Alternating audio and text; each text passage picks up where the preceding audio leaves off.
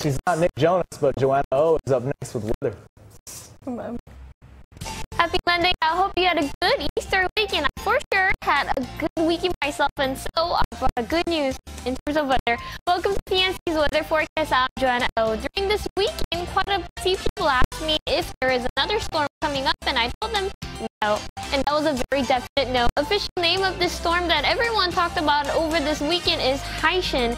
It was storm over the weekend, but it was downgraded to a tropical depression this morning and is expected to go through another downgrade as a trough by the time it reaches our forecast zone.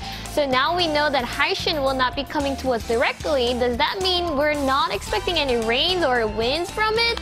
The answer is Yes, we'll still be able to feel the effect a little. In fact, yesterday and today's were a little bit rainy and windy because Haishen's force and high pressure from the north were colliding. However, as Haishen is rapidly weakening, we're expecting this collision to have less significance in our weather as well. Besides Haishen, we also have shear line fragment from the north affecting our weather, but overall impact of this weather maker and of Haishen seems to be similar, which is mostly cloudy skies with only 20% chance of rain over the three-day forecast. Temperatures uh, seem to be not affected by any of the weather makers so far as they're remaining at 76 to 87 in Guam and 75 to 86 on Saipan. Winds, however, will drop to usual range of 10 to 15 miles per hour for tonight as well as next two days as tension from Haishen and high pressure collision loosens. That's it for me and let's survive this week together. Woo!